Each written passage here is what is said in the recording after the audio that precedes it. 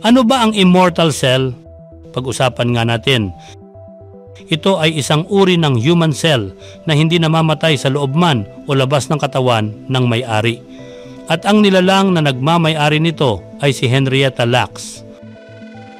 Kaya sa 15 million metric tons ang inimbak na cells ni Henrietta at ito ay kakasya sa katumbas ng isang daang Empire State Buildings. Patuloy itong nabubuhay kahit na matagal nang wala sa katawan ni Henrietta. Kaya tinawag na immortal cell, ginagamit din sa pag-aaral tungkol sa polio, gene mapping at kung paano nagiging mabisa ang human cells sa iba't ibang paraan. Ito rin ay napakahalaga sa pagtuklas ng mga gamot sa mga sakit gaya ng cancer, leukemia, influenza, hemophilia, Parkinson's disease, AIDS at marami pang uri ng sakit.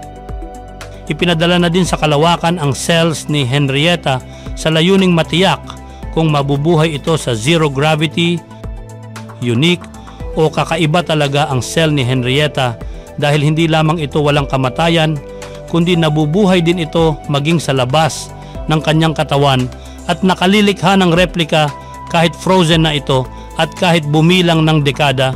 Ay obra pa din gamitin kung hindi natuklasan ang immortal cell ni Henrietta hindi matutupad ang mga eksperimento ng mga siyentipiko ukol sa human cells. Kadalasan kasi sa human cells na ginagamit nila ay nanghihina at namamatay kapag nailabas na sa katawan ng tao.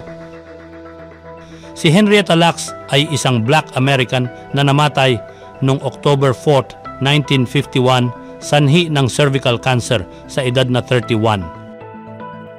Sinubukan ng kanyang doktor noon na kumuha ng tissue kay Henrietta habang ginagamot siya sa kanyang cancer, natuklasan ang kakaiba niyang cell dahil doon.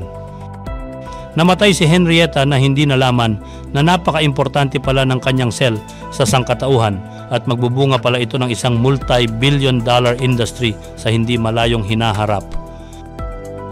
Ang malungkot, ang pamilya niya ay mahirap pa rin hanggang ngayon Lima ang anak niya na nasa pangangalaga ng kanyang nabiyudong asawa at wala silang kamuwang-muwang sa kahimahimalang cell ni Henrietta.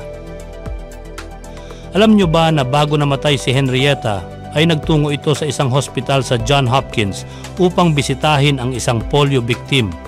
At hindi niya alam na taglay niya pala ang isang uri ng gamot na makakagamot ng polio dahil sa kanyang immortal cell.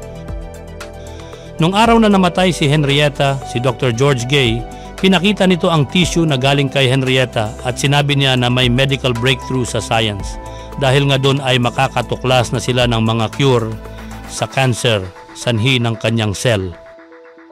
Pero yung kinuha sa kanyang cell na ito tinawag na Hela dahil ang pangalan niya ay Henrietta Lacks noon ang ginamit. Pero nung nag-iimbestiga na ang press kung sino ba si Henrietta Lacks, parang nagdamot yung doktor at pinalitan nila yung pangalan para hindi matuklasan na sa kanya galing. Hanggang sa noong 1970s nga, nabulgar na kay Henrietta galing ang tinatawag na immortal cell. At ito ngayon ay patuloy pa din na pinag-aaralan upang matuklasan ang maraming uri ng gamot sa sangkatauhan na pinipeste na ng maraming sakit. Nung nalaman ng asawa ni Henrietta ang tungkol sa cell na ito, sabi ng doktor sa kanya, He thought the doctor was telling him that his wife was still alive and scientists had been keeping her in a laboratory for the last 25 years and using her to experiment on. Hindi na intindihan na buhay yung kanyang cell pero patay na si Henrietta. Ganong kamangmang ang kanyang asawa at kanyang pamilya. Kaya hindi niya alam na pwedeng ang cell ng kanyang yumaong asawa ay makalilikha ng multi-billion dollar industry. Sinasabi pa rito The Lacks family lived in Laxton, which is land located in Clover, Virginia. The land was given to the Black Lacks family by the White Lacks family who had owned as slaves the ancestors of the Lacks.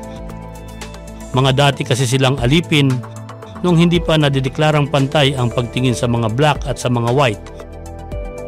Henrietta's body lies in an unmarked plot on the family burial ground next to her, now abandoned in a falling down childhood house.